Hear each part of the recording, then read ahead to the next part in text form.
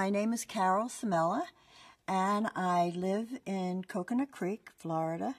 I have a franchise of uh, Cruise Planners American Express, and um, it has um, it's brought a whole new dimension to my life. I was 65 years old when I started this business.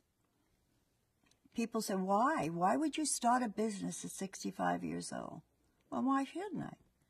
One of my friends uh, mentioned to me that um, she heard about cruise planners and she said she knew I was looking for something. She said, Why don't you look, why don't you think about that? Why don't you think about buying a franchise and and learning about the travel business?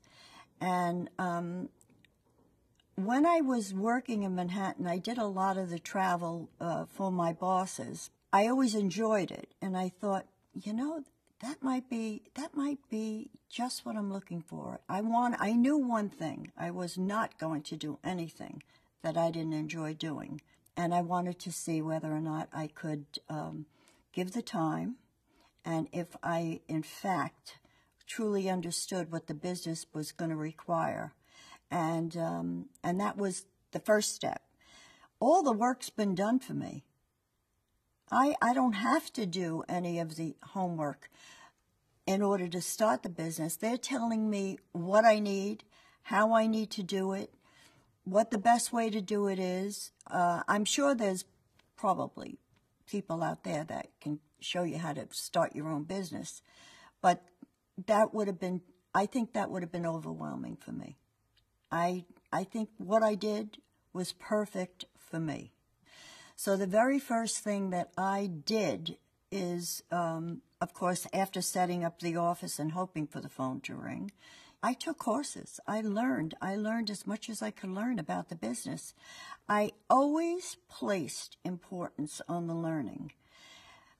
The rest comes along with it because you have to market. You market yourself. You join the chamber. You join networking groups. There are so many organizations out there that will help you.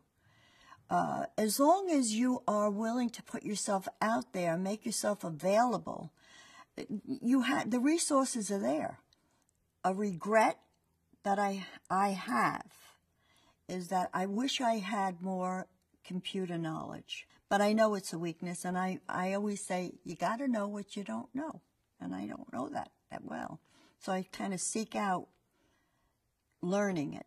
After you get to a certain age, and probably once the kids are out of college, it's the time to do it because guess what? If you don't do it now, you're never going to do it. Do what you want to do because this is what it's all about. This is what you worked all your life for. And I'm going to do what I, what's going to make me happy and for however long I can do it. I have no intention of retiring, ever ever, ever.